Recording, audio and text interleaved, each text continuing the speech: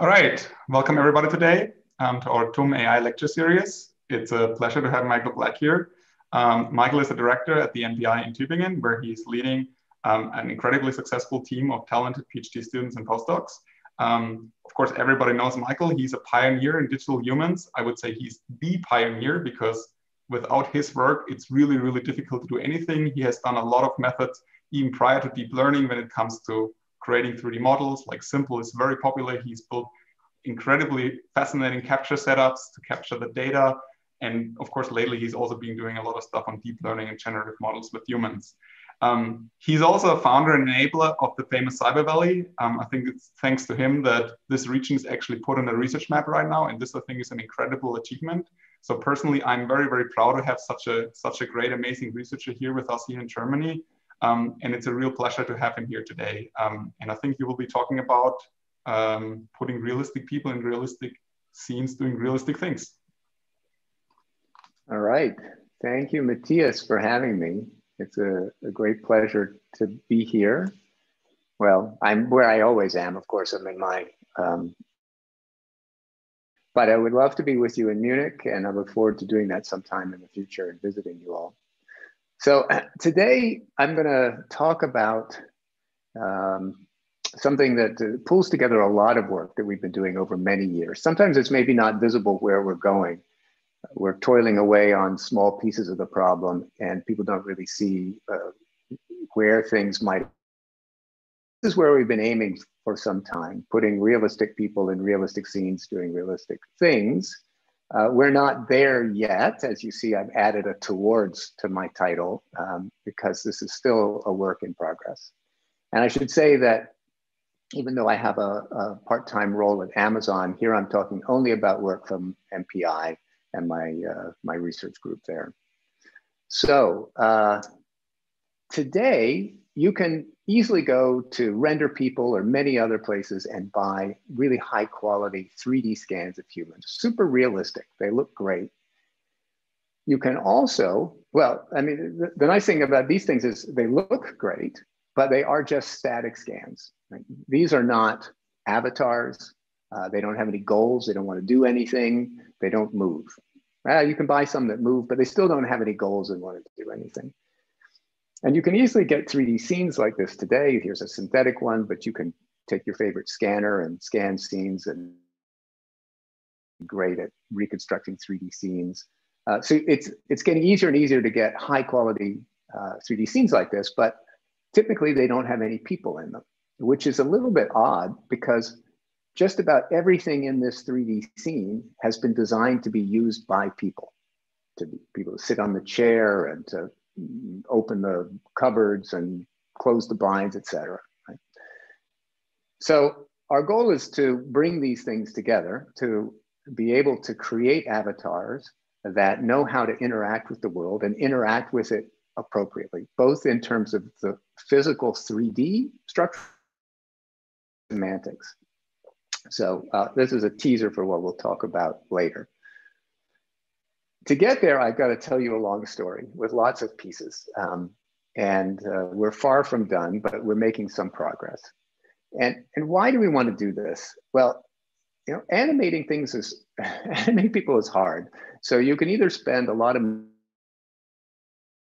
or you could do it kind of badly, like here. I, I, mean, I'm not, don't mean to criticize this, but it's just kind of funny.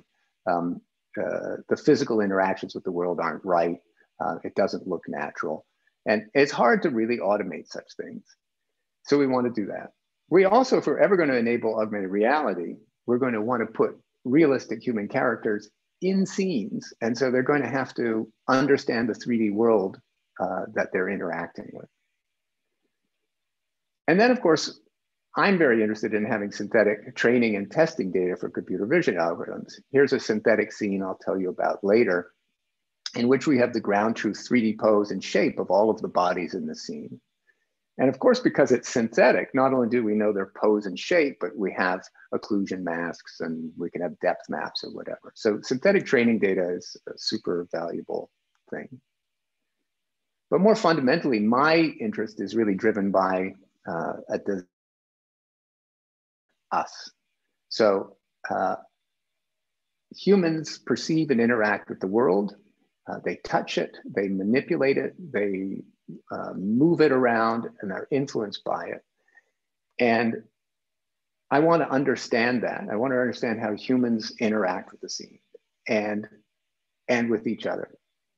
And if we can do that, I believe that we then kind of have a testable model of ourselves. We have a, a, a virtual person and we can experiment with it. We could put it in scenes and see how it will react. Imagine an architectural scene where I change some property of the world, the size of the corridors or the amount of light coming in. How will that affect human behavior? We have no way of testing this now without actually running experiments with real people. So uh, I see this as an, a, a great scientific endeavor to really try to understand what it is to be human and how we behave.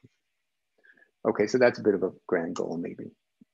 Uh, the field is uh, making progress along this line, both in computer vision and computer graphics, in trying to understand how humans interact with objects in a scene and then place people virtually in a scene or interacting with um, things like bicycles. Uh, so far, much of this is quite limited. Um, quite often the, the results are static, the people are not moving, or if they're moving, it's a very scripted and small uh, repertoire of, of, movements that can be made. So we're making some progress. I'm not going to go through the details of all this related work, but um, you can certainly follow up from the references here. So how are we going to do this? How are we going to approach this? I, we see it as having three fundamental parts. There's the computer vision part, in which we capture examples of human interacting with the scene, human scene interaction or HSI, and hopefully doing real things and complex things. Then we apply machine learning to model this so that we can predict appropriate behaviors given a new scene or new task or previous motions or, or some goal of the agent. And then finally, we use graphics to synthesize this behavior. And I mean, this is useful, obviously, for, for example, the architectural example I gave, but also uh, uh, for creating synthetic training data. And, and basically, if we can synthesize behavior that, that we, you and I, can't distinguish from the real thing, then we've achieved our goal. We've created something realistic. So that begs the question, what should we capture? If the first stage of this is capture, and, and traditional methods focus on capturing the human body in terms of its joints in, in 2D or 3D. Uh, but we've argued for many years that contact is, is key and fundamental, and contact never happens unless you're unlucky through your joints, it happens through your skin. So we really need to model the surface of the body to understand how bodies interact with the world. And to that end, as Matthias alluded to, we uh, built some fancy capture systems. This was the world's first four-dimensional full body capture system that could capture humans in motion at 60 frames a second, built for us by 3DMD, and it's uh, still one of our workhorses. To give you an idea of this system, some of you may have seen this, but in case you haven't, I'll just show you. Um, this, it's got 66 cameras, um, uh, a bunch of stereo pairs and then some color cameras. And it captures 3D meshes. These are just raw point clouds at 60 frames a second, but you can see it captures a lot of detail, including soft tissue motion. So given uh, data like that, um, actually many thousands of scans now, uh, we've collected millions of scans and um, they all get kind of uh, condensed into a, a, statistical model. That's our goal. So we want to take all of this scan data and we want to create a function that takes a small number of parameters, for example, theta, which is the pose of the body, and beta, some representation of its shape, and produces vertices. And I'll walk you through what this is um, uh, now and as a, as a preview of where we're gonna going to go with it. So uh, this is all going to be learned from examples, and then we're going to be able to generate 3D bodies that move, deform relatively realistically with facial expressions and hand gestures and so on. And so now I'm going to walk you through this a bit old work now. This is from 2015. Um, and Matthias mentioned it, uh, but I think it's interesting to take you through because there's some terminology here, like linear blend skinning, that may not be familiar to the all the computer vision people, and it's going to apply. We're going to talk at the end of the talk about neural avatars, and basically the same template is going to everything's going to be the same as what I'm talking about now, except the things I'm talking about now are all going to be replaced by neural networks with some big advantages. So uh, a SMPL body model is a template mesh. It's a bunch of vertices, T, uh, faces, um, and a bunch of uh, joints, J, these are the white dots, and some blend weights. So these uh, blend weights shown here in colors, I'll tell you about in just a minute, represented by a matrix W here. We're gonna have some blend shapes. These are controlling the shape of the body and Notice that the joints, the white dots, move as the body moves, changes shape. So this is going to capture body shape variation. The way SMPL does that is it uh, puts all of the scans, so we've got a bunch of these training scans I showed you, puts them into a canonical pose. So it factors out all pose variation. This is really critical, and we're going to do the same thing with, with neural avatars. Put things into a canonical pose. But back back in 2015, what we did is we just vectorized these things. So we had a, all the vertices just in a vector. We computed the mean, subtracted it, and then did principal component analysis. Made a matrix, did PCA, and then shape is represented by a small number of linear coefficients. Beta times principal component directions u plus the mean um, mu here. All right, so that's uh, what the SMPL shape space is. It's just principal component variations. And here you're seeing the second, third, fourth, et cetera, principal component of um, male body shape. All right. Now we need one more thing um, that takes uh, shaped bodies, the template, the joints, some blend weights, and uh, the pose and produces vertices. And, and this is simplest based on linear blend skinning because it's the simplest thing that's used in the graphics community. It's very, very easy. And uh, basically it says that um, uh, if uh, I'm moving a, a vertex Ti um, according to the pose of the body theta, its uh, position in the final in the world is going to be a function not just of the part that it belongs to, but potentially the neighboring parts um, and their transformations. And so uh, we compute the actual pose of, a, of each vertex, Ti prime, as a weighted combination of these transformations. You don't have to know all the details, but these color, pay attention to the color coding. It's just some uh, representation of how influenced each vertex is by um, uh, the rest of the body. Now, linear blend skinning has some known artifacts, and, and this is going to be important again for neural avatars. So it's uh, got this collapse at the at the um, at the elbows, for example. And what artists have done for many many years is they design by hand uh, um, correctives. They're called pose correctives. They're displacements from this um, uh, rest pose. So they'll craft the rest pose in such a way that when it is posed, the actual, the right thing happens.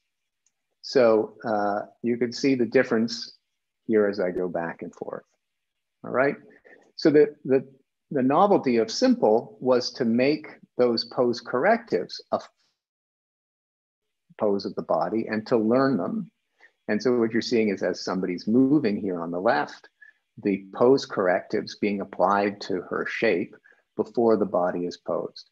And these are capturing soft tissue motion, muscle deformation, as well as fixing the problems of linear blend skinning. Okay, and when you put that all together, you have a linear blend skinning function W. It takes a template mesh, which is a function of shape and pose, uh, the joints of the body, which are a function of the shape of the body, some blend weights, and everything here is learned. Okay, but it's all applied to the surface of the body. And we'll come back to that when we talk about neural avatars. All right, uh, one more thing to say, um, that was SMPL. Uh, there's other models called SMPL-H, which adds hands, and SMPL-X, which is expressive. It has the face and hands. The hands are also correspond to a, a hand model called MANO and the face to a, a 3D face model called flame. But everything is still the same. It's all linear blend skinning and learned uh, pose correctives, etc. All right, uh, now that's a model of the shape of the body in 3D, but to create virtual humans, we have to model how they move and what and so that means capturing because um, we don't want to be we don't want to hand animate these things so uh, the goal is to be able to take things like 3d scans motion capture data words even images videos rgbd and produce people uh, the secret decoder ring of course is your favorite uh, neural network of the day um, and uh, we've done a lot of work on this topic take an image and produce the 3D pose and shape of the person, including the face expression and the hands. Um, we have a bunch of work out there, SMPLify, HMR, spin, vibe, expose, etc. And I'm not really going to talk about this today. With one exception, I'm going to plug our latest work, which will be at CVPR, and it's called TUCH. Uh, and the uh, idea here was that current methods, for example, spin on the right, don't know anything about self-contact. And um, we touch our uh, our faces something like uh, I don't know constantly. Basically, you're probably uh, I'm touching my hands here. You're probably in self contact uh, right now, and um, yet current methods do a very bad job of estimating pose when there is self contact. And uh, so we trained a method to uh, improve that touch, and you can see the improved contact on the blue mesh compared to the purple one. And the cute idea was to collect a novel training set that we call Mimic the Pose or MTP. So what we did is we uh, collected a lot of 3D scans of performing self-contact poses. So we know the ground truth pose of the body and the ground truth contacts between the vertices of the body. We show these to people on Mechanical Turk from three different views, and we also highlight the areas that are in contact for them. And then we ask them to make that pose and have someone take their picture. Okay, so that's what you see here, the pictures from Mechanical Turk. They also tell us their height and weight. So we have a rough idea of the height and weight of the person. And we have a very strong prior on what the pose should be, in particular what the contacts should be. And then uh, we solve for the pose and shape of the body using our SMPLify method, but modified to take into account a very strong prior and the contacts. And then we get really pretty good quality pseudo ground truth. Uh, and the interesting thing is that if you um, use data like this and this information about contact, there's a lot more I'm not telling you about, um, training on, on, on the contact information improves your results on pose estimation even when there is no contact. So that's coming to CVPR and you can find it online. Uh, but still getting accurate human behavior out of images is still a little hit or miss today, I have to say. We have not fully solved that problem. And the best source of data about humans and how they move today is still good old fashioned marker-based motion capture. So again, we apply our secret decoder ring. We take marker data, the green dots on the left, and we're going to estimate a 3D body on the right. And this is, uh, again, relatively old work uh, called MOSH, in which we take mocap data and we fit SMPL or SMPL-X to it. This is just some examples of the CMU uh, data set. And um, using that technique and extending it a bit, we created something called the AMASS data set. And AMASS in other data sets, and we're expanding that significantly uh, very soon with over 45 hours of high quality mocap data with lots of variety. And so this is now 45 hours of mocap is now sort of in the scale of uh, what you need to do deep learning. And it's all in a single format. It's all in this SMPL-H uh, format. So very easy to use. Uh, with that, another teaser for CVPR 21, if I can squeeze this in, um, is uh, work on what we call Mojo, uh, which um, takes a sequence of human motion and predicts the future. What are you going to do next? Uh, it has a couple of interesting novelties. Um, one that I like is that it, it, instead of predicting the joints of the body, it predicts the surface of the body, surface markers. And this turns out to be advantageous uh, for several reasons, but one is that at every time instant in an iterative prediction, we can project back onto the space of valid bodies. So we always have a valid body, um, uh, which is uh, which really helps. Anyway, have a look for for Mojo at CVPR. Okay, um, so we can get mocap data, so we can figure out we can we can get accurate motions of the human body but we still have a problem if we want to model avatars interacting with the scene. And that is we don't know what people are doing in the mocap data. It's rarely labeled, and if it is labeled, it's not labeled very accurately. And so what we would really like is to be able to have detailed labels of every single frame and know that somebody's standing and then transitioning to a run and then jumping over something and supporting their body and so on. So uh, we created Babel, which will also be at CVPR, and we took the amass videos, AMASS data set, and made little videos of them, uh, and then had Mechanical Turk workers uh, label every single frame. They can add any number of, uh, of actions that are present in the video. Uh, they label uh, the precise timing.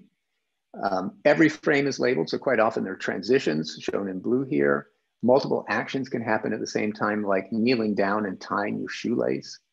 Uh, and so it's a, it's a quite a rich uh, data set of actions. And just here's a just a couple examples: T-pose, transitioning, walking, uh, standing, grabbing something, transitioning, placing something on a shelf. And here, the woman on the right is adjusting settings on her on her phone, adjusting settings of device by right hand. Uh, so quite detailed things. But one thing to notice in both of these is it's classical mocap. It's just the body. There's no uh, um, there's no objects. This this guy's grabbing an item and placing an item, but we don't see the item. And she's typing into some device, and we don't see the device. So this is a, a, a major limitation of existing mocap. So uh, at ECCV last year, we uh, um, put out a new data set called uh, grab, which we in which we tried to address this um, because we want to know how humans manipulate the environment. And again, computer vision methods on their own are not quite good enough yet to do this. And so we um, embarked on what I think was a complex motion capture process where we would capture the whole body, the articulated finger movement, the facial expressions, the objects people are interacting with, and all of the contacts in great detail. And in particular, we're interested in full body contact. You know, you don't just pick up a cup. A lot of computer vision things just look at like picking up a cup, but you pick up a cup to do something. You bring it to your mouth, and then you make contact with your lips uh, before you break contact and put the cup back down. Or you bring a camera to your to your eye. You bring food to your mouth. Um, you lift heavy objects with your whole body.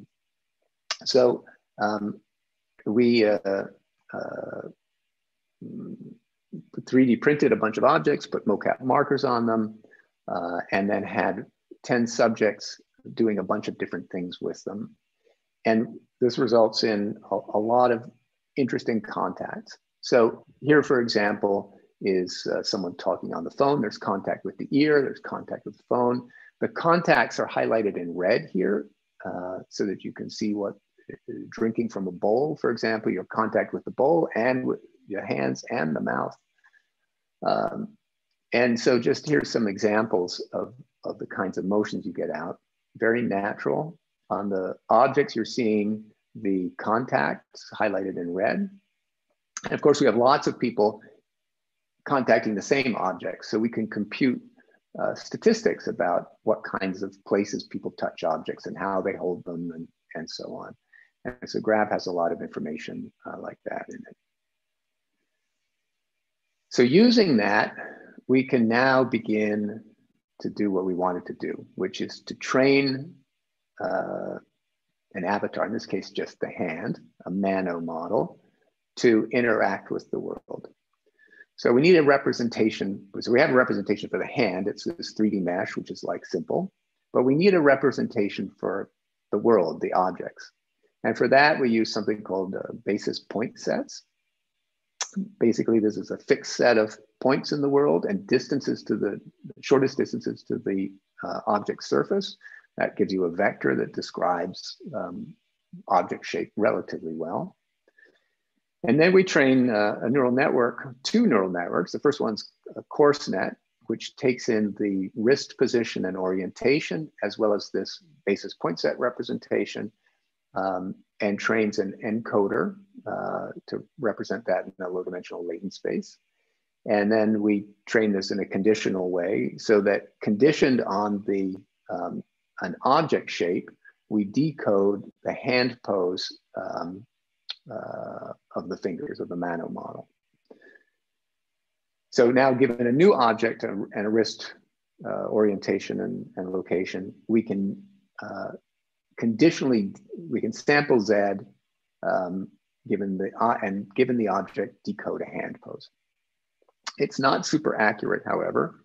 And so we have a second step, a refine net that iterates and takes in addition to the initial um, hand pose, it takes the uh, it takes distances from the finger, the hand to the object, weighted by the likelihood of contact on the object, and uh, and then gradually refines the hand till it makes a nice pose. So here's some examples of GrabNet results for objects that were withheld during training. It's not perfect. Uh, there's still some interpenetration. Um, it's always tough uh, to completely resolve that. Um, and they may not be completely semantically meaningful. Okay, so we're making progress. Um, we can now uh, grasp some things, and, and that's, a, that's critical, but people move in and interact with much larger scenes. So, um, you know, these objects exist in some context. So we want to capture human movement in a, in a larger environment.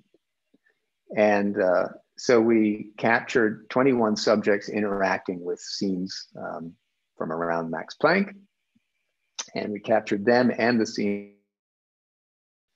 We also scanned uh, 12 scenes um, shown here. And we also used the PiGraphs data set uh, and um, that gave us a bunch more scenes.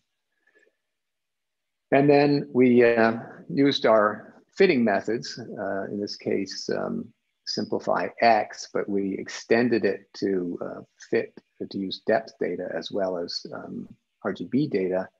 And on the left, you see input image. Uh, middle, you see the overlaid um, SMPL-X body. And on the right, the 3D scene and the body rendered. So um, yeah, so this in addition to estimating the pose, we estimate the contacts um, with the world. And in doing the fitting, we introduced a couple of things which helped a lot. We penalized both self penetrations, so um, shown here as, as red in the, under self, and also interpenetrations with the scene. But you don't want to just prevent penetrations, you want to encourage contact when things should be in contact.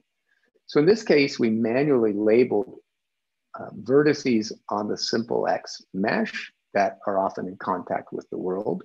And when these things were sort of close enough to scene surfaces, they would try to snap to those. There'd be a penalty if they were close but not snap on, right?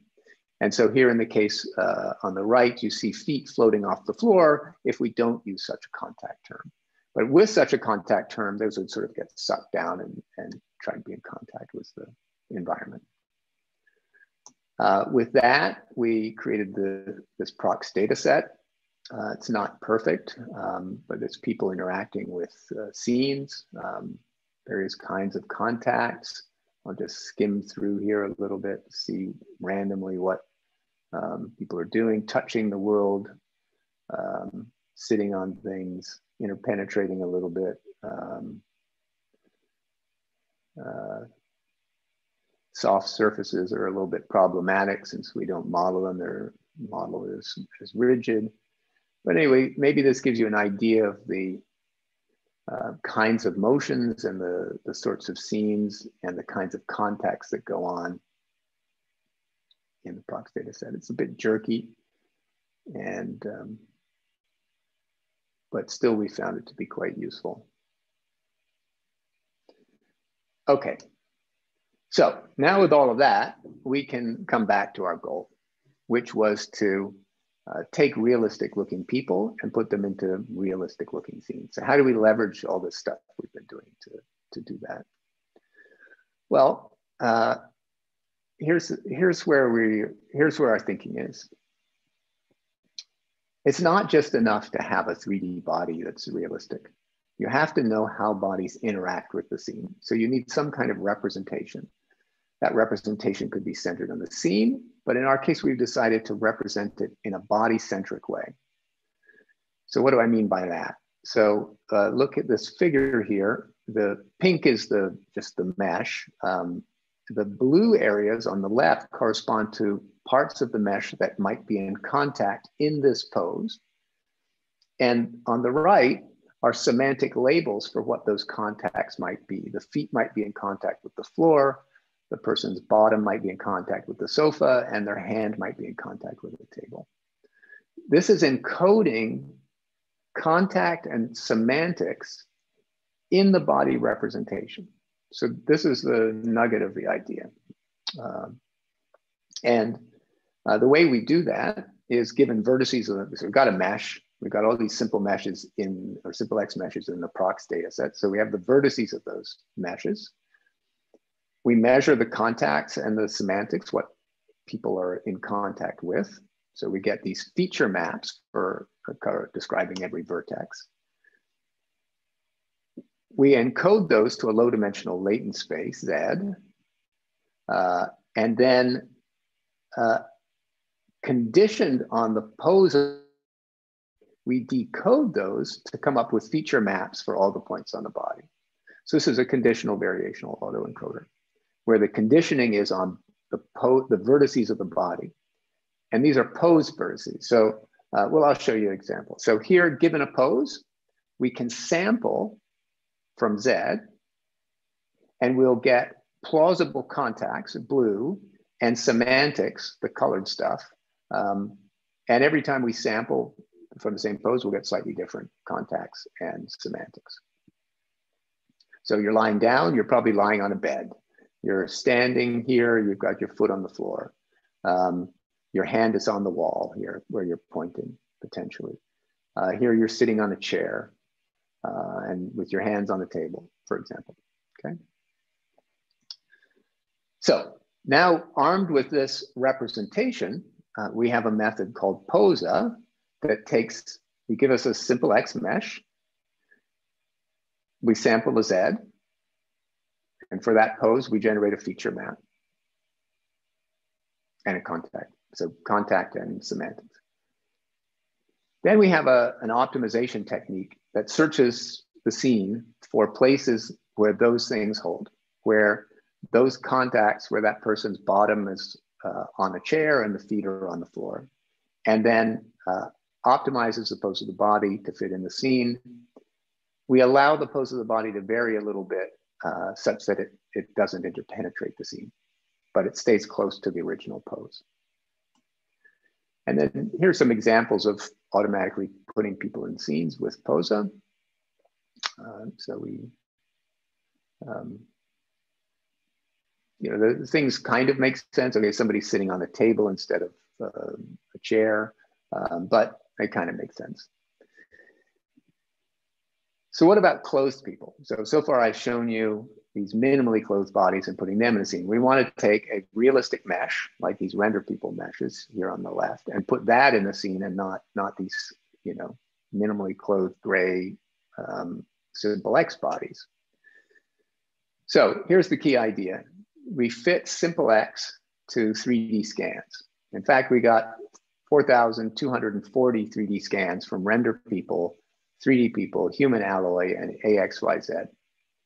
Um, we extended the SMPL-X model to children because uh, it doesn't cope with children very well.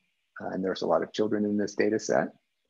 And then we fit the body to these to get ground truth shape. So on the left, you see the, the uh, SMPL-X body. In the middle, you see the um, a rendering of the scan. And on the right, you see the, the body and the scan together.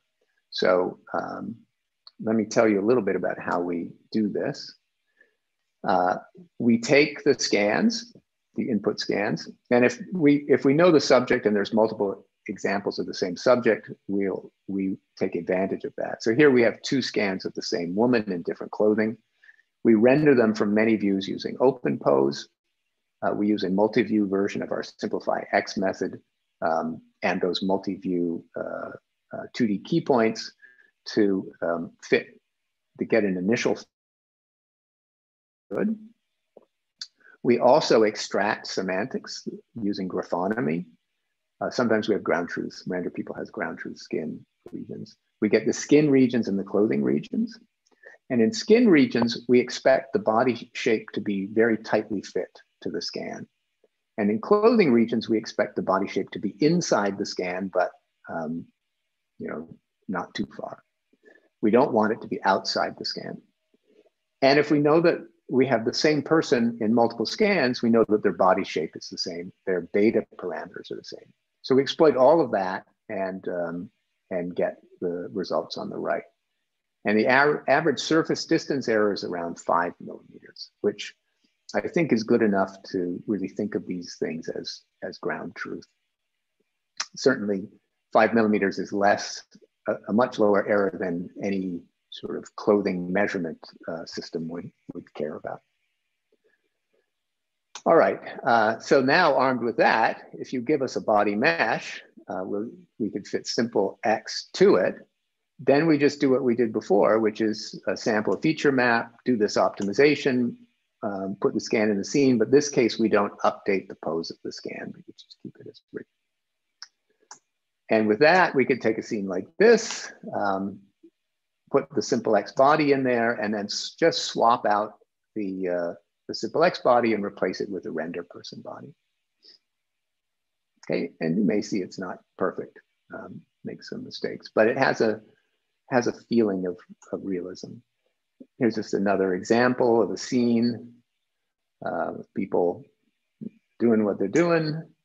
Uh, we can also do it on scan scenes, for example, from the replica data set, uh, plausible, um, plausible uh, poses of people. But it doesn't always work, of course. Here's another example, which looks good on the surface. So she's sitting in a chair at a table, it all looks pretty good, but she's holding a knife and fork and she's got no food. I mean, we don't know anything about knives and forks, and we don't know anything about food. So you know, to really push this, we would need a much richer semantic um, description of the scene and the, the objects people interact with and what it is people actually do. People do actually eat in front of their computer, so that's plausible. Um, but she's going to go hungry without some actual food there. Anyway, uh, now we're making some progress about putting people into scenes. And I told you one of the things that I'm excited about is using this to generate synthetic training and testing data for algorithms, for example, that estimate human pose and shape from images. It's very hard to get ground truth data, particularly of human shape in images. So we've created something called Agora, which is also at CVPR. It's a data set of realistic scenes and realistic lighting with multiple people um, uh, with occlusion, uh, interperson occlusion, environmental occlusion, where we have ground truth SMPL-X bodies and segmentation maps. And we have a training, validation, and withheld test set. Uh, so the scenes kind of look like this. Um, so relatively realistic people, uh, lots of occlusion, um, a variety of settings, and as I mentioned, environmental occlusion, uh, people holding things. Um, and this is just some example uh, images from the data set, give you an idea of the variety, the kinds of lighting and, and so on, the scenes that we have. And we use a variety of kinds of scenes. We use these high dynamic range panorama images and put people in there. We also have uh, CG scenes uh, like the three shown um, around here.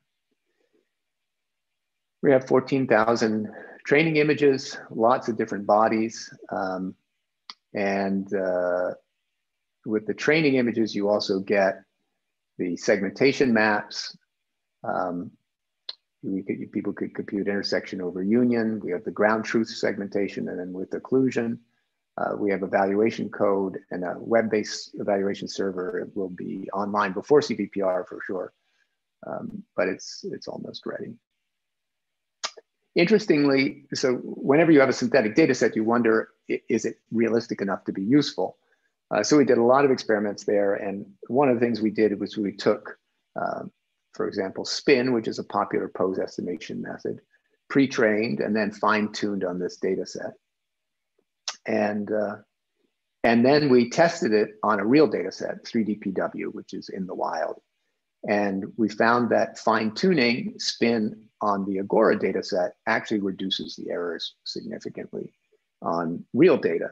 So that's a, that's a nice thing. The 14 and the 24 here, by the way, is just the number of joints being used. Um, Agora uses 24 joints, but the literature uses a weird 14 joint error, which they shouldn't be doing, but what can I do about it? Um, Agora going forward, we use the, the standard 24 joints, it's simple. Uh, and another thing you'll notice here, we also tested this method on the Agora data set. And of course, it, it does better than, than spin um, without fine tuning. But you'll notice that the errors are much larger. This is the mean per joint um, error. And uh, it's significantly harder. So this data set significantly harder than existing data sets. Why is it harder? Well, oh, here's just a bunch of methods run on the data set. We did an extensive evaluation of current methods. Um, and uh, it's hard because of occlusions. It's hard because there's children in, in it, which most methods can't deal with very well.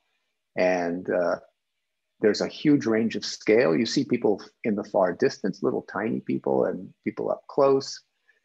Uh, people in the periphery, um, yeah, so what we found is uh, there's a bunch of things we found out about the, the current field, but number one is that methods uh, begin to fail when there's a lot of occlusion.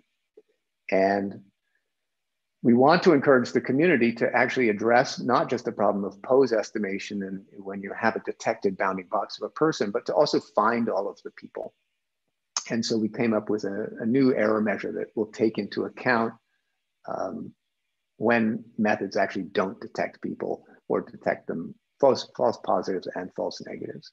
And we think it's a more realistic measure for the community going forward. Anyway, that's a, a little um, overview of, of how you can use putting people in scenes to generate training and test data. Uh, but let's come back to movement. So um, I talked about AMASS and how important it is that people move. And then I went back to all these static people. Uh, so we really want avatars that are realistic in uh, 3D shape and pose, but that we can insert into scenes and have them move. 4D scanning is super expensive. Building articulated avatars of people in clothing is really hard. Clothing is hard to create, it's hard to animate. What we really need are simple solutions for learning animatable closed avatars that move and look realistic. So uh, this is kind of the goal. This is a dream. This is not a result yet. Uh, so we have a we want a body and we want to be able to control it with something like SMPL-X because it's got nice control parameters. Um, can we have something like a neural renderer that is conditioned on SMPL pose and or shape and can produce animated uh, people as a result. All right, so um, how do we create neural avatars from SMPL? Well, the standard rendering process takes a mesh, triangles, and a texture map, and the camera, and some lighting, and, and uh, uses all that to produce an image. It's hard to make that really realistic and to get clothing right. Uh, so a neural renderer learns to render SMPL images of SMPL realistically with texture and clothing um, without going through the traditional uh, rendering process. Now, starting with a mesh like SMPL is a bit of a problem for neural networks because meshes aren't the, you know, there are ways to deal with meshes in neural networks, but it's not the easiest thing. It's much easier to work with images. Uh, and so what we're going to do is we're just going to take the vertices of the SMPL model and their RGB colors. Okay, so we're going to have our representation of the person is going to be a bunch of points, relatively sparse points, about 7,000 for the body, and their RGB colors. That's it. And given a camera, some parameters of the camera, and the pose and shape of the body, we're going to project into an image those points, the RGB values, those three channels for each of the vertices, and the depth of each of those vertices, just shown here as two images, but it's a four channel image, okay? So this is, this is very easy to work with with a neural network. Um, it's kind of weird. We flattened the world uh, in, into from 3D into 2D. Um, but you can see in the depth map, the depth values of sometimes neighboring projected vertices correspond to the front and the back. And the neural network will figure out how to take advantage of all of this. This is a, a method called SMPLpix, by the way, which appeared at WACV. I actually think it's a pretty powerful, very simple and powerful method.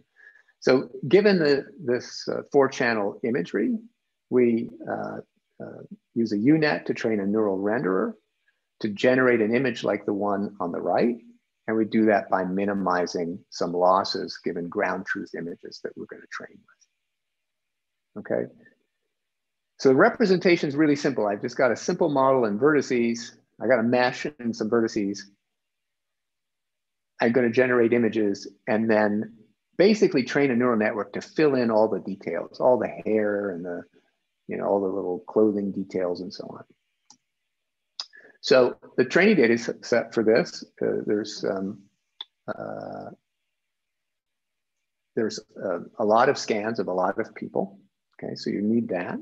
You need to learn like what does hair look like, what do clothing wrinkles look like, etc. So we have a, a, big training set and then a test set of 68 novel subjects. Uh, and, and so here's the input, the two images on the left I know this all looks like 3D, uh, but it's not. They're just images, right? It's just RGB points and RGB depths color coded here so you can see it. And uh, SMPLpix generates the images on the right. Okay. The nice thing is because, oops, sorry. The nice thing is because I am not good with my clicker here. The nice thing is uh, because these things are driven by SMPL, it's just trivial to change the, the vertices. You just change the SMPL shape parameters by beta, and you can make somebody skinnier or fatter or give them a little belly or whatever. Uh, and the network has learned how to take vertices like that and to generate the appropriate um, rendered images. So it's a nice way to change body shape and get diversity. You can also uh, change the pose. And so uh, here are uh, test subjects animated with motions from the AMASS data set. So, you know, the network has obviously never seen any of these poses before, um, uh, but it's able to generalize uh, relatively well. Okay, so uh, we use SMPLpix for lots of things, by the way. It's really, uh, and, and, Sergey uh, is going to, Sergey Prokudin, the first author, is, is putting a version of it online uh, soon if he hasn't already, and it's, it's really quite handy. Um, but SMPLpix doesn't actually model 3D shape. Uh, it allows us to render images, but it doesn't generate clothed shapes. And we might still want to do that for some applications. Uh, clothing is complex and the topology of the clothing doesn't always match the body and it can change over time. For example, you can open up your jacket and so on. Uh, so we need a more flexible shape representation than SMPL meshes. And there's an explosion of research on this uh, topic right now with uh, implicit shape representations. Um, I'm just going to plug two other papers at CVPR. LEAP is an occupancy-based uh, neural avatar model. We don't deal with clothing yet there. Um, and scale is, a, it takes a different approach, which is kind of more explicit. It's based on 3D points but combined with neural rendering, we can represent the shape, 3D shape of, um, of people in, uh, and with topologically varying clothing, which is very nice. And then we can render them relatively realistically. So those are two things to check out at CVPR. But the one I wanted to talk about today, because I thought it might generate the most interest, is Scanimate.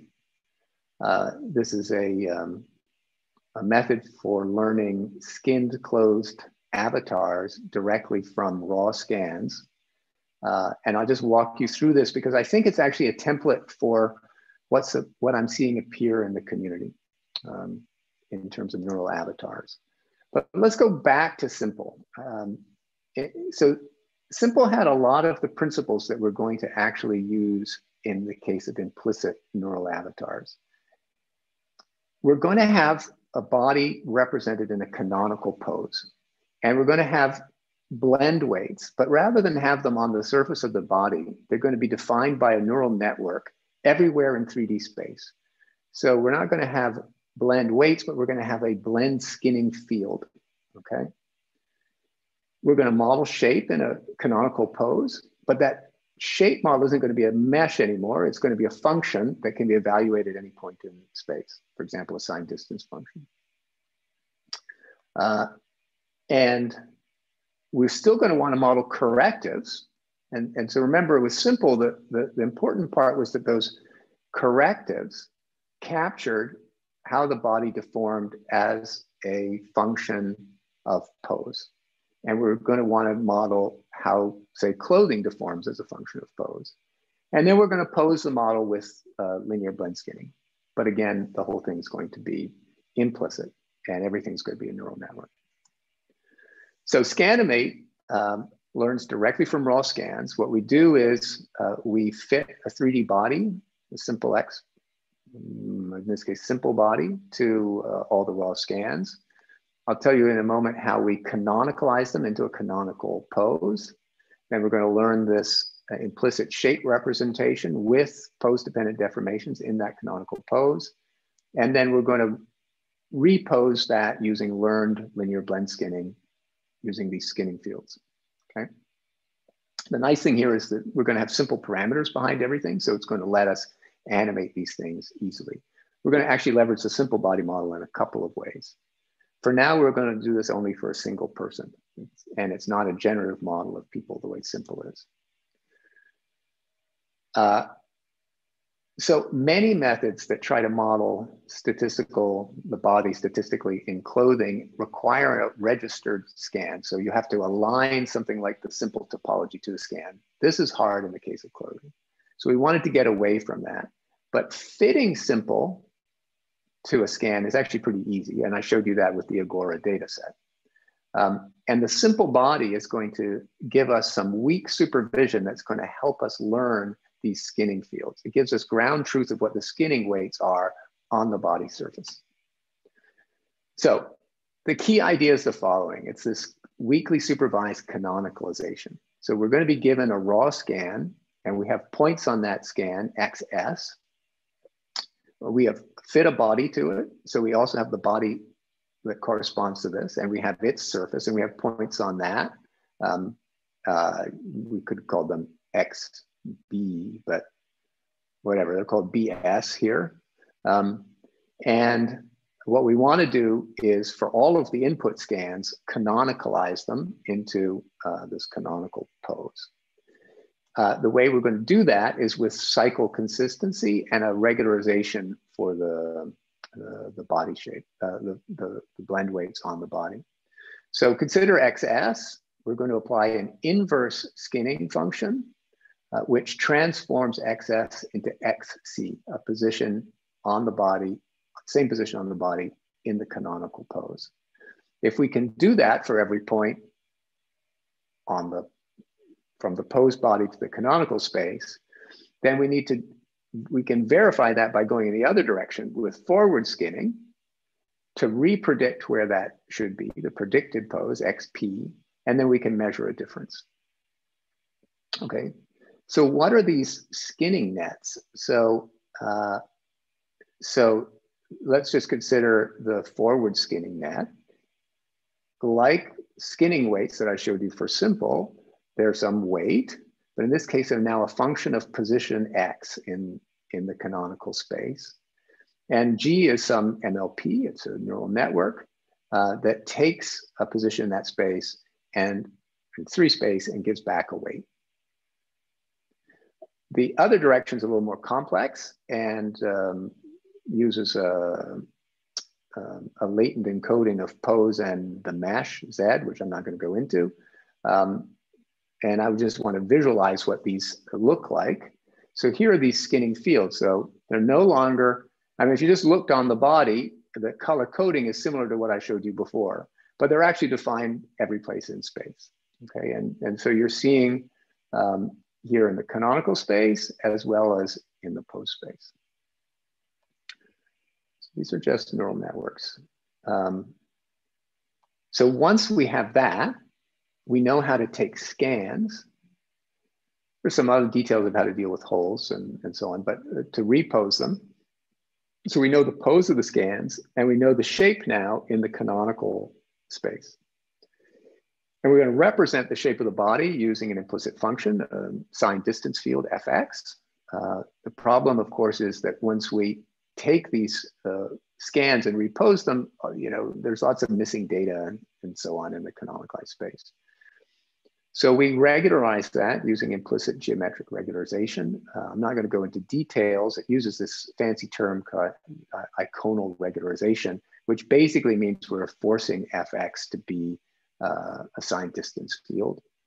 And um, this paper, IGR paper, shows that uh, by doing this with neural networks, that the um, MLP's inductive bias actually manages to smoothly fill in the holes in a very nice way, which is um, kind of slick. But I refer you to the paper for more details. Uh, so um, what we actually need here is for the shape to be pose dependent. So we have our theta, the pose of the body, and we're going to want to represent how the clothing shape varies with that. So the problem is that this theta is very high dimensional. We probably don't have that many scans to fit. So it's very easy to overfit with limited training data. And so a naive regression um, training with just the global pose parameter uh, quickly blows up if you don't have very much training data. This is an extreme case where we didn't use very much training data, but just to make the point. Um, so instead, we take advantage of the kinematic tree and we, um, we learn to, uh, well, actually just define it a, weight matrix, W, um, that is going to uh, focus only on local parts. So if I'm in a region near a particular bone, I'm going to look at only the pose of that bone and its neighboring ones, several neighboring ones. So it's a, uh, this is a focus of attention, if you will, on just local parts of the body so that you don't end up overfitting to the global pose. And that little trick um, uh, solves things. And with the local approach, even training on a small amount of data, the, the thing doesn't blow up. Okay.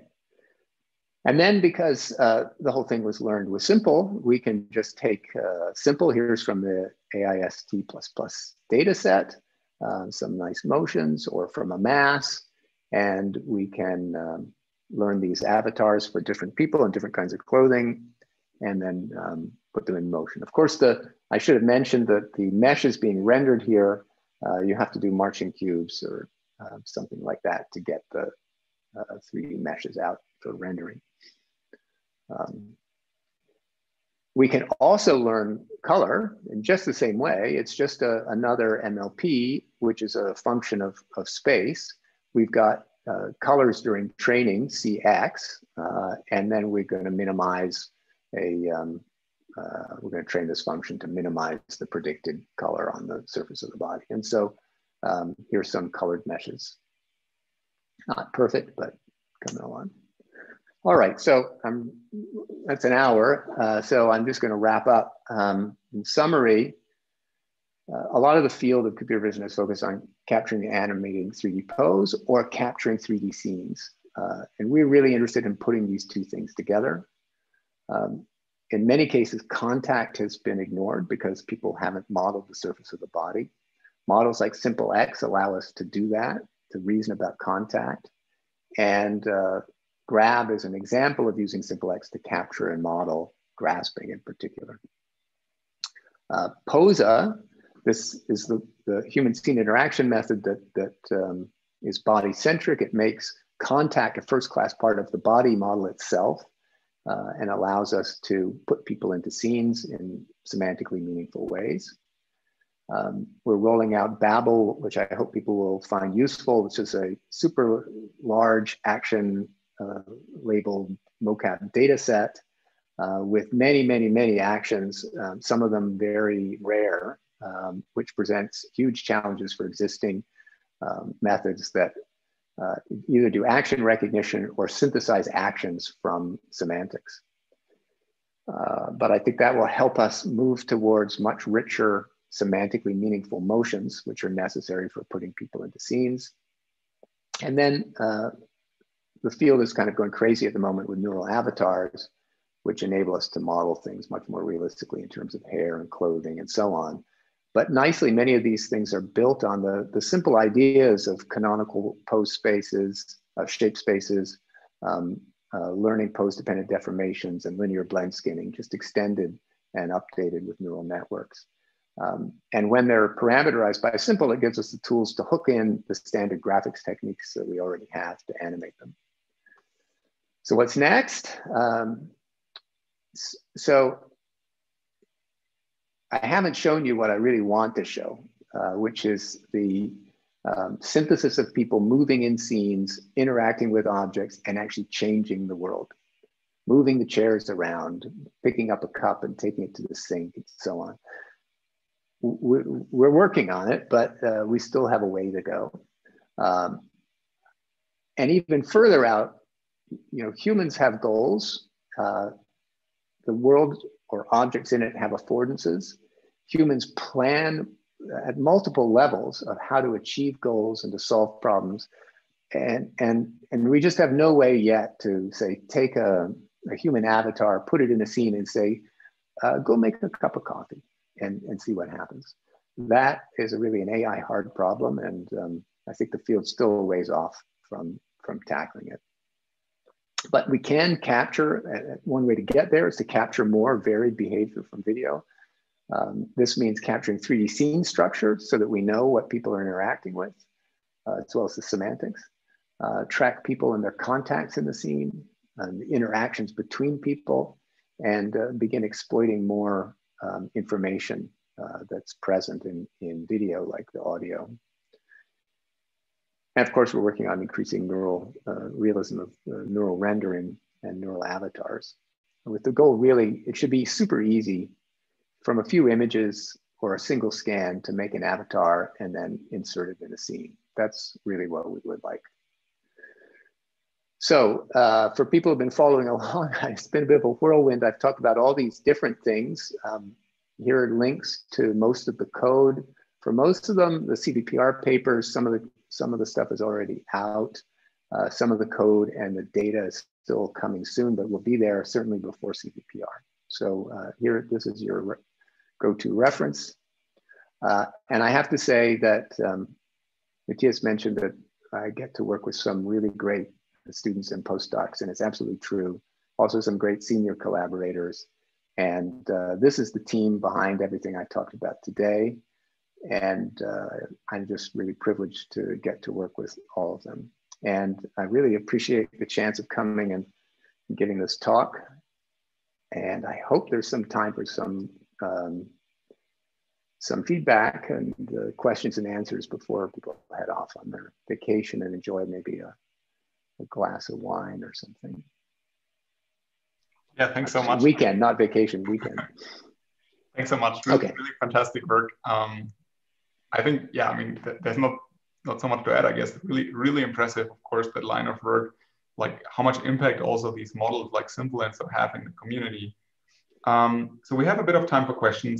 I mean, I'm going to start maybe with one. Like, SMPL has made so much impact right now, I think, and I think the community wouldn't you wouldn't be able to do that kind of work on humans if this model didn't exist. So, what do you think is the future to it, right? Like, what do we do beyond like linear blend skinning, linear models, like yeah. maybe correctives on top of it? Is that the future that we have more correctives, or do we do we start from scratch again? What's what's the future there? What do you what do you think?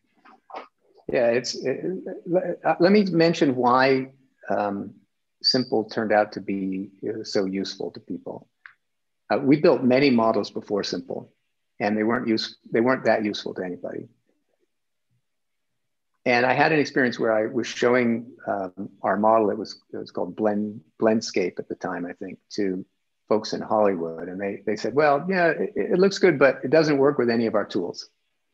We can't really use it. It's got to work in Maya. It's got to work in you know." Uh, so I went back to the team and said, "Look, we you know let's start from something that's dead simple and easy that everybody can use, and so it's designed to be compatible from the get go." And, and so that's how we, we decided to build something based on the current tools. And it turned out to be a big surprise. It turned out to actually be more accurate than the fancy models that weren't based on the current tools. So the lesson there was to get things really in use, you have to find out what people actually do and, and build to that. So I'm very excited about neural avatars, except they blow that whole thing out of the water, right? They're super cool and great, but they're slow you know, if you want to get a mesh out, which people want, it's still pretty slow to get out. Uh, they're not compatible with anything. They don't plug and play in Maya. So unless unless we go and start building new graphics tools, which I think will happen, by the way, I think the the world of graphics will change in this direction, but it won't happen overnight. It's going to be hard to get stuff out that is you know, really realistic, has lots of clothing, and is still super compatible and functional. So I think we don't quite have the answer yet. Um, as excited as I am about implicit functions, the implicit part is actually a bit of a problem for adoption. So I think we might need to keep looking. Think that's a good point. I also think, I mean, we, we're going to have new tools, I think. We're going to maybe have to change some existing just workflows, generally speaking, but this will obviously take a bit of time. It's not going to happen so, tonight. So I, I, the work I didn't talk about called Scale, which is at CVPR also, which is based on point clouds. Um, let's not forget point clouds. They're actually pretty useful. They, they give us explicit 3D information that we can render very quick, super fast to render and so on. Um, and uh, you know, I love the work that Leo Guibas's group does with, with 3D point clouds in all kinds of ways. You could really, really do a lot with, with point clouds. Um, and so I'm not giving up on them as a representation either. I think the jury's out on what's going to be the next model. Cool. Any other questions on Zoom? I mean, there's a bunch of questions on YouTube already, but um, I'm going to give people here an opportunity too. So just um, I have a question. Hi, I'm Jiho. I'm uh, specialized on the scene understanding actually, but I think this human scene interactive is very, very interesting. And also, um, I would like to ask, for example, uh, for the semantic part for this human scene interactive, it seems relates to a, a lot of physics if you grab a cab or etc. Um, but like how do you think if you want to define a action like in the 2d video uh, uh, recognition you can like to use some frames to to predict if the, if a human is uh, doing something like sitting or grasp a, a, a, cup. But on the 3d do you think it's a meaningful task um, uh, that, like what a human defined? Or you think it's not so interesting because how you generate the ground truth in 3D is totally different from 2D. For 2D, you, you just take a picture. So people wanted to predict the action for, for this picture or a video. But for 3D, you you generate the you generated the ground truth in another way, right? Mm-hmm. Like, do you think it's still a meaningful well, problem? Well, let me see if I if I get the question. Um, so, are you asking whether 3D is useful for action recognition? Or should I? Because there's two skill field pixels and some features computed from the pixels, and you can recognize sitting on a chair. Do you need a 3D model and all this 3D stuff? Is that is that your question? Um, yeah, kind of. Actually, I want to ask is like for 3D, you can generate a, a action, right? You don't really have to predict in this way, but maybe in some scenario, let's say if we have a reconstructed 3D scene and a human, and we, we, we want to predict, and we, mm-hmm. we can leverage the data that are generated synthetically to do the training, right? Do you think it's a valid uh, set, setup if, if we propose, hey, we, we want to propose a task to do the 3D human action recognition where we can already generate a lot of synthetic data in that way? So um, my here's my philosophy about this. So, um, uh, there are some actions in the world that are relatively rare. Mm-hmm. Um, so when you see them, there are a lot of confounding effects about the clothing of the person and how tall they were and the lighting mm-hmm. and the scene and so on. Uh, so unless we can really factor those things out, um, learning unusual actions from pixels may be Whereas if I can abstract away from the pixels to the 3D structure of the world, I factor out many of the confounders uh, from the problem. Mm-hmm. And then if I have a small amount of training data about rare actions in 3D, I think I'm mm-hmm. going to have a better chance of recognizing them from the recovered 3D motions. It's only a hypothesis. Um, but when we talk about actions and action recognition in our community about what, what that really is. So action recognition is like one of the I don't know. It's it's at the moment it's it's narrowly defined. You know, mm-hmm. you kind of think of some actions and then you you go out and collect them and look for them. Actual actions are much much much richer than than what people collect. And uh, and I think one notion of have we actually understood the behavior in a scene is whether we can generalize and put that same behavior in a new scene. Mm-hmm. Right. And and and that comes with all kinds of subtlety, um, which action recognition methods don't really deal with right now. I don't know if I've answered your question though entirely. No, I think it's uh, actually I'm thinking of that's quite uh, interesting. Is like now if we can generate synthetic data of these human actions, we can pre-training on them. Maybe there's a chance we can fine tuning on even very small real data. As, as you said, the, the, I mean, you, you, you like you cannot really gen, like generate a synthetic way covering all the clothing appearance, something maybe drawn with pixels. It, it, it, seems very um, useful. Um, the so, I'll give you another example where it's super useful for us to use synthetic data for real world and apply it to the real world. And this is, we do work with drones as well, where we're tracking people. Um, and there we just don't have a lot of uh, drone footage of people overhead. Having synthetic data we can change the camera configuration. We could change the type of sensor. We could change the height of the drone. We could change all kinds of things and generate new training data synthetically mm-hmm. very easily.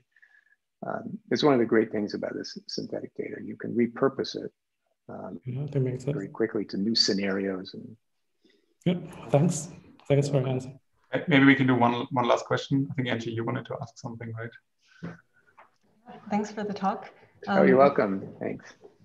Yeah, so I had a question, I guess, relating to, again to data. Then, so uh, a lot of cool data sets that you have generated around collecting people, and now some like person-object interactions or person-scene interactions. But there's still, of course, the end goal being to really capture kind of complex scenarios, maybe um, learn a bit of the the physical uh, basis behind.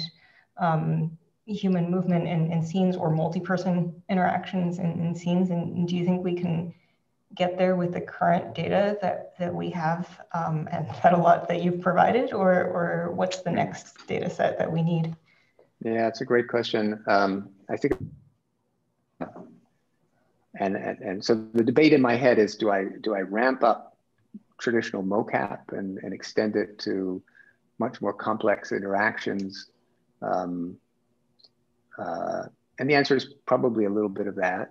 Um, but I really think we need to be leveraging natural video much more heavily. The problem is we're not quite there, but maybe we're there enough that methods are working well enough that we can we can begin using it. What I what my group is lacking is something that uh, that you guys have. Um, uh, is, is this really good 3D scene reconstruction, right? This is this this would really, if we could just take a, a movie and um, and get really good 3D scenes out and the 3D people, then then we'd be on our paths to getting some exciting data. Uh, these, so these things have to really come together still. I think we're just not, you know, the tools are just not quite there on either side yet to make it super practical. Yeah, and, but still, I'm really excited about learning from um, in the wild data. We're doing it for faces now, and it's working really well. Faces are a little bit special, though, um, a little bit easier than general scenes. Yeah, I mean, I think the the learning from all the video data that we do have available um, is definitely interesting potential that uh, hasn't really been been fully or really at the, the basics that have only been explored. So that, that's kind of cool too. Yeah, thanks. You're welcome.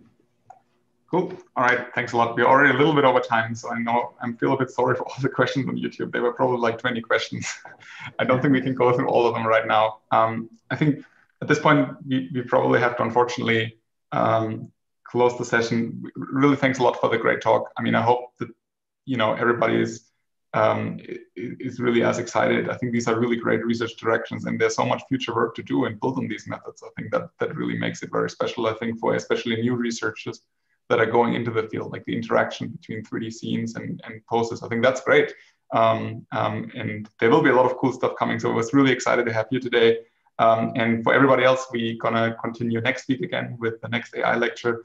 Um, and otherwise, um, if you're interested, of course, feel free to reach out to Michael. Um, um, he's a really great guy. He's very hands-on still in the research for his seniority. That's a very special thing. So thanks a lot.